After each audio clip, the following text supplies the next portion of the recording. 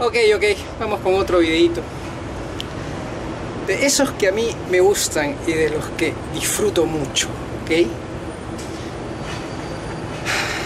Habría que, remitirse a, textos bíblicos o a la filosofía eh, eh, eh, antigua, no tanto a la filosofía contemporánea, más que todo a la filosofía este, arcaica, si se quiere.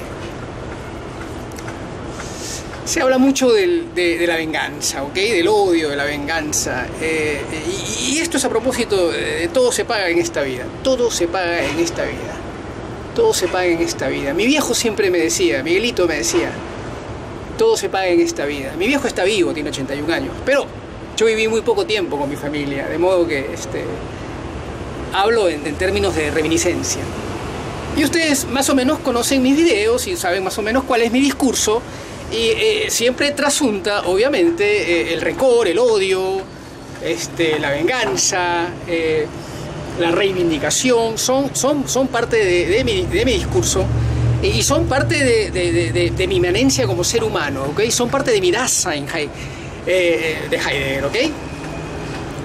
Heidegger es un gran filósofo contemporáneo, este, moriría a finales de la década del, del, 70, alemán, alemán, europeo.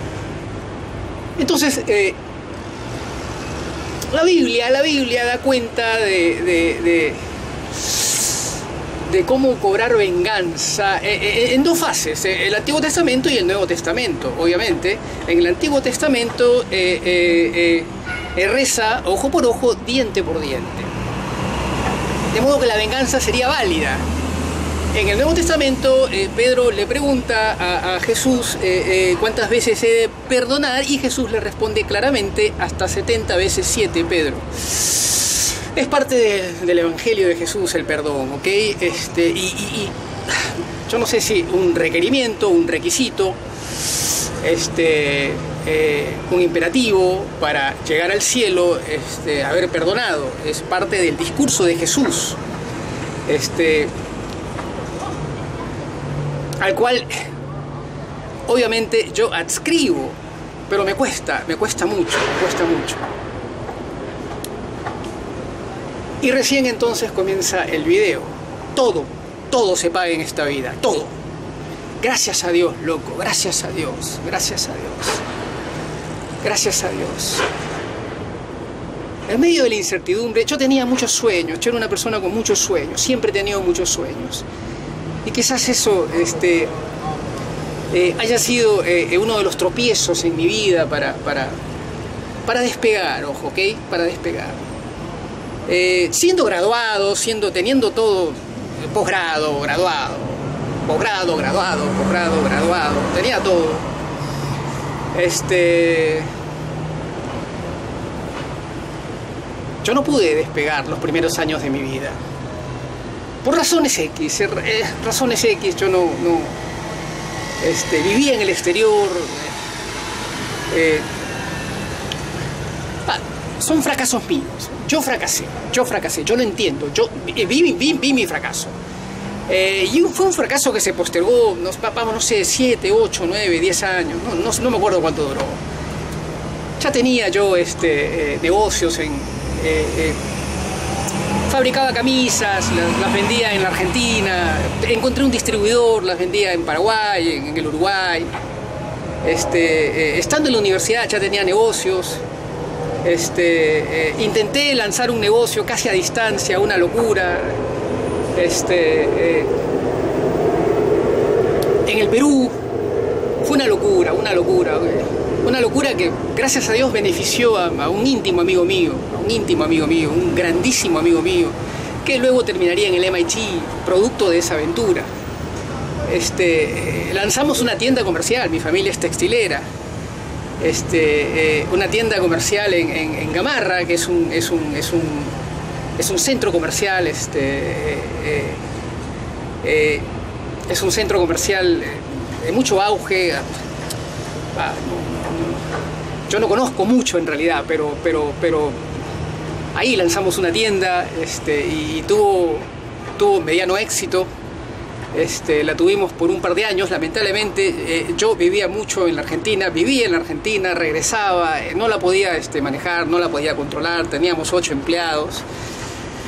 Mi socio eh, me decía, Miki, este, estás muy lejos, regresaba de vez en cuando. Y bueno, terminamos cerrando. Y de ahí vino el fracaso de ahí vino el fracaso, de ahí vino un gran fracaso, este, no pude regresar al Perú cada vez que, quise regresar, eh, siempre era el mismo, el mismo tema, yo no entendía, la, la cultura no me cerraba, no, no, entendía de qué se trataba, no entendía de qué hablaba. ¿Conoces a tal? ¿Quién es tal?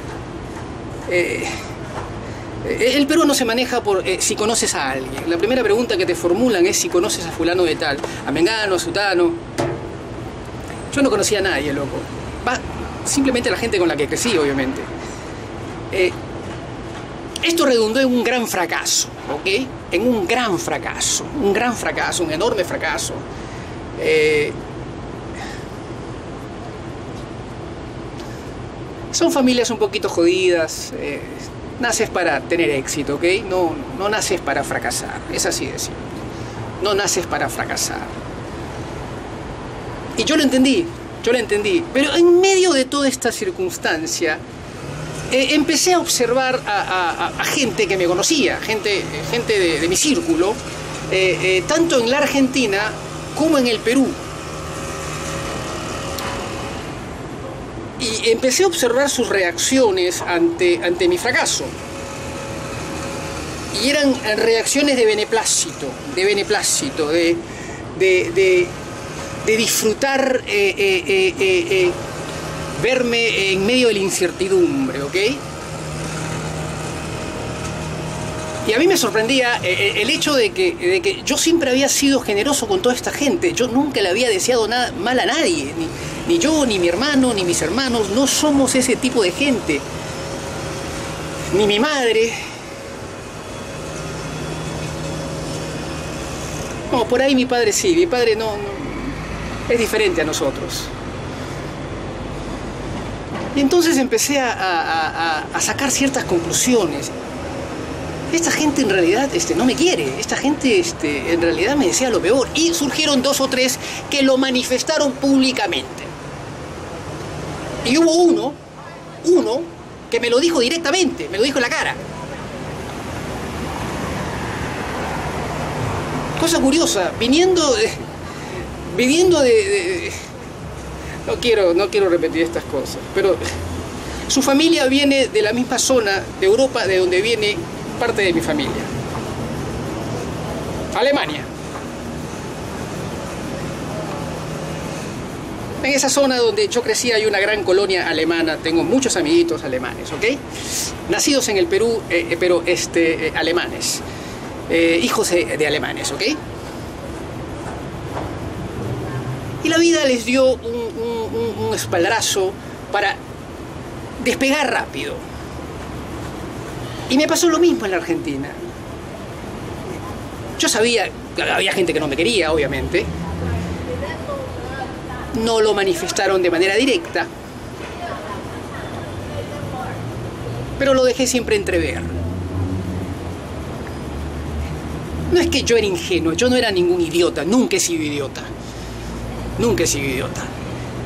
Pero no tenía esa maldad. Yo no tenía esa maldad.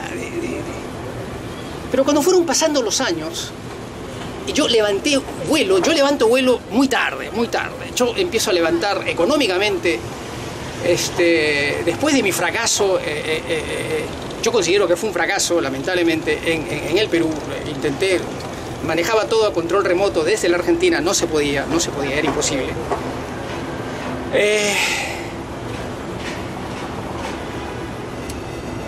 Levanté vuelo, vamos, no sé, a los 31, 32 años. Es muy tarde, loco, es muy tarde. A los 31, 32 años ya estás viejo, loco. En Sudamérica estás viejo. En Estados Unidos eres un pichoncito. En Sudamérica estás viejo, estás liquidado. Estás completamente liquidado. Regreso al Perú eh, eh, con la intención de, poder hacer una vida, este, era, muy difícil, Este, eh, en la Argentina yo venía de una situación muy difícil, este, había estado muy enamorado de, esta chica judía, su familia no me aceptaba, por varias razones. Por varias razones que prefiero no mencionar. Eh, y entonces se me había acabado un poco la ilusión, ¿no? Y había perdido la ilusión. Pero cuando regreso al Perú tengo, tengo la, oportunidad de tomar la sugerencia de ventas de, una compañía que luego terminaría siendo parte de eh, Movistar Telefónica. Este, y yo termino lanzando este, a nivel nacional, dentro de subgerente de ventas, eh, todo este producto a, nivel nacional, ¿ok? Pero eh, un buen día el gerente general se me acerca este, eh, y me dice, eh, Miguel, he vendido la compañía, este, está viniendo gente nueva y van a hacer un takeover. Efectivamente, a la semana empezó a llegar gente de México, de Portugal, de San Antonio, Texas, compraron la compañía, trajeron a su gente, eh, a los 3-4 meses este, después de entrenar al nuevo gerente de ventas, que no entendía una sola palabra en inglés, este, eh, perdí mi trabajo y tuve que eh, regresar a la Argentina, fue casi la última vez que intenté vivir en el Perú. Ahí vi gente mala, ojo, pero no, no, no, no generé enemigos. Y entonces empezaron a, pasar los años y vino este, el corralito en Buenos Aires este, del 2001 y yo dije, esto, esto, esto, esto, esto no da, no da para más, no da para más. Eh, eh, tengo que salir y tengo que, tomarme el buque o a Estados Unidos o a la punta del cerro, hacia cualquier lugar menos quedarme en la Argentina o regresar al Perú, un país que casi no conocía, no entendía, no, yo no lo entiendo. ¿Conoces a fulano? ¿Conoces a Mengano? Tu papá es fulano de tal, tu hermano es fulano... No me jodas, loco, para la mano, macho. Yo no conozco a nadie.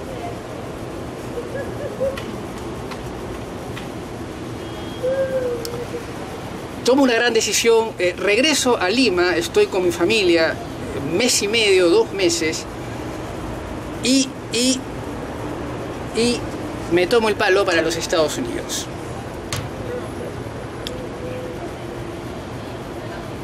Todos los sueños que tenía, todas las ilusiones que tenía,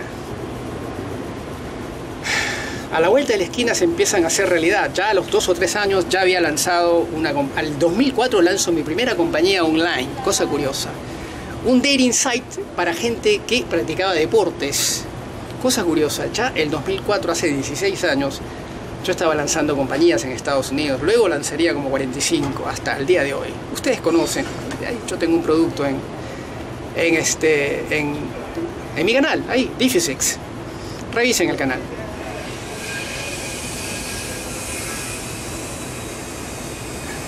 Trataría de hacer un, retorno a, a, lo que me tocó vivir, y tantos deseos de, tantos deseos de terceras personas de que yo fracasara. El deseo de esta gente era de que yo fracasara. Habiendo sido mi familia casi la cuna de un barrio en el que yo crecí, de gente muy privilegiada, ojo, ¿eh? Muy privilegiada. Cuadra 19 de la avenida Benavides. Todas eran familias miraflorinas que habían tratado de de emigrar un poco de Miraflores y construir una casa un poquito más grande en Surco. Ya no habían terrenos en la, década del 70, en la década de los 80, este, finales de los 60 en Miraflores, ya eso estaba todo estopado, esta gente empezó a construir. En, lo que eh, sería el distrito colindante, Surco, el comienzo de Surco.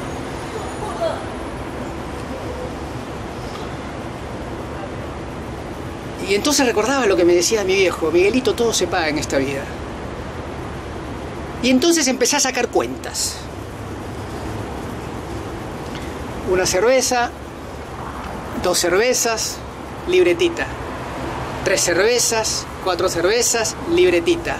Un six-pack, libretita. Y empezar a anotar.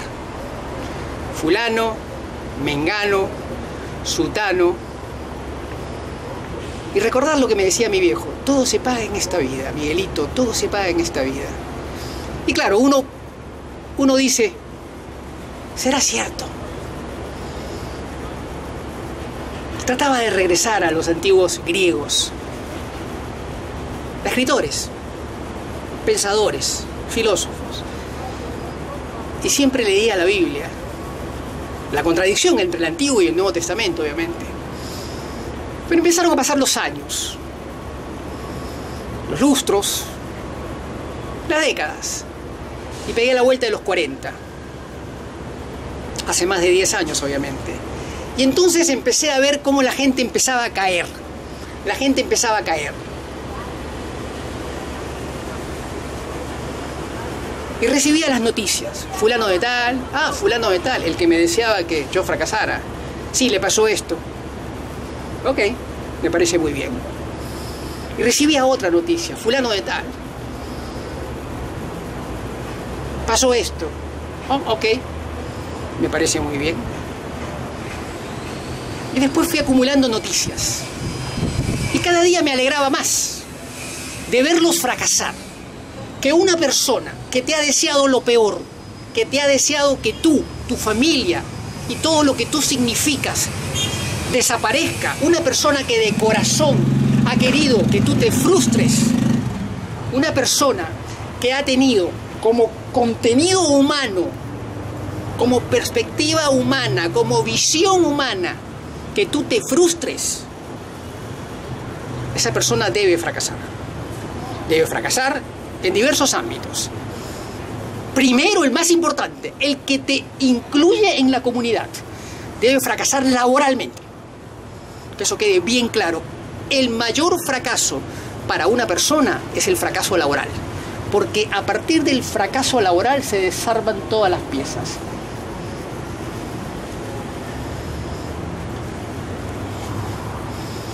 Ese fracaso es muy importante en un enemigo, el fracaso laboral. Es el que yo más busco en mis enemigos, que fracasen laboralmente. Otro fracaso que a mí me entusiasma es el fracaso familiar, me entusiasma mucho. No debería, pero me entusiasma, lo disfruto. El de un enemigo. Enemigo es el que te ha deseado lo peor. Más aún si hubiera actuado en consecuencia.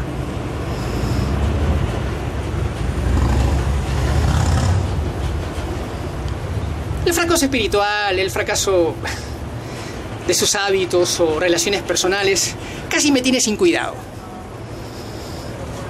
Muchos de estos enemigos.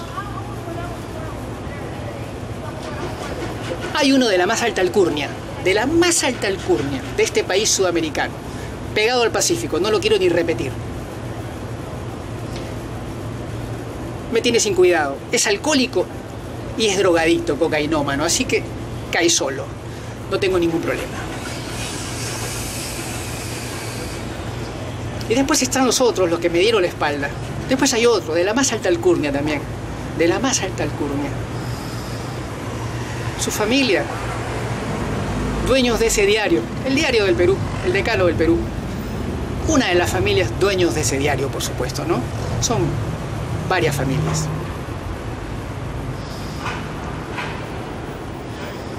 Qué alegría. Qué alegría pero fracasar a la gente, loco. La gente que te ha deseado lo peor. Qué alegría. Cuánto lo disfruto, loco. Cuánto lo disfruto. No seas mansito, loco. No seas... La gente es mala, macho. La gente es mala y te desea lo peor. Ubícalos. Es mejor alejarse. Es mejor alejarse. Pero disfrutar, cuando te enteras que les ha ido mal, disfrútalo. Nunca, que esto quede bien claro, jamás disfruto de la enfermedad. De eso no disfruto, ¿ok? En un enemigo no, eso no lo disfruto. Tengo mucha misericordia, mucha compasión por la enfermedad de una tercera persona, independientemente de que sea un enemigo. Mi gran formulación, mi gran pregunta es, ¿qué mierda les hice? ¿Qué mierda les hice? ¿Qué mierda les hice? ¿Qué mierda les hice?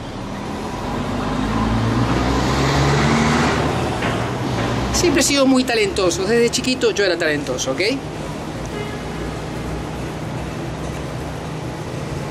Eso genera tanta, tanta rencilla. Eso genera tantos odios. Entonces esperaron el bache. Tuve un bache profesional. Ya les dije, el bache profesional te desarticula completamente la vida. Así son las cosas. Y llegué a los 40, hace más de 10 años. Y de ahí pasaron 5 años, cumplí 45, y me fui enterando de más fracasos de estos enemigos. Al llegar a los 50 me enteré que muchos de ellos ya habían fracasado totalmente y se habían convertido en unos parias de la sociedad, viniendo de muy buenas familias. Y eso me alegró mucho. Tuve una tremenda satisfacción de saber que esta gente que me ha deseado lo peor, la está pariendo. Qué alegría, loco, qué alegría, qué alegría. Y después pasé a los 50 y recibí más noticias. Gracias a Dios ninguna de enfermedad, ojo, ¿eh? Yo no disfruto que una persona, por más enemigo, enemigo, enemigo, enemigo, furibundo enemigo de mi persona, de mi Dasein,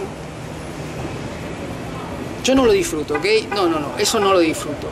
Pero ver fracasar a una persona que a mí me ha deseado lo peor, qué alegría, loco.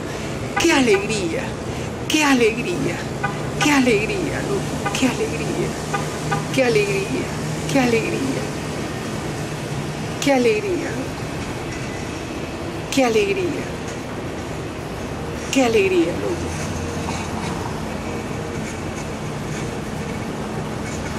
Existe el infierno, por si acaso.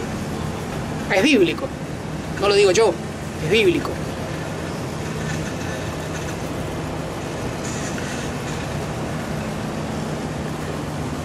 Reconocer que eres vengativo, loco, me parece muy bien. Una vez se lo dije en una entrevista laboral. Ventas, por supuesto, obviamente ventas, en otro tipo de, de círculos no lo podrías decir. ¿Cómo te defines? Me dice la, la, gerenta de recursos humanos. Soy una persona muy vengativa, le digo. Se quedó muda.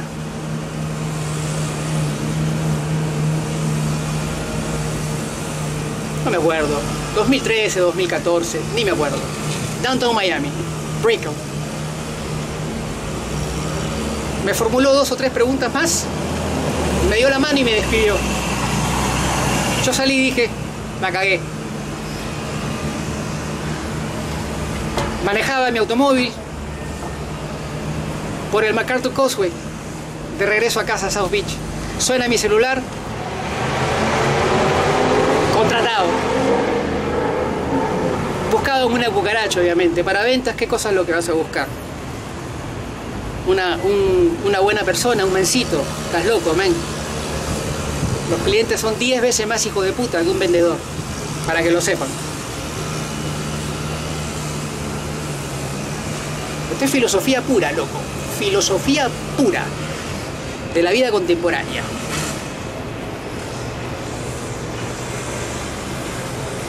Y vivo tranquilo, vivo tranquilo, loco. Vivo tranquilo. Que espero más noticias, las espero. No de enfermedad, nunca de enfermedad. Pero cuánto me alegro, cuánto me alegro cuando me entero que fulano de tal fracasó, loco. Qué alegría, me. Qué alegría. Qué alegría, loco. Qué alegría.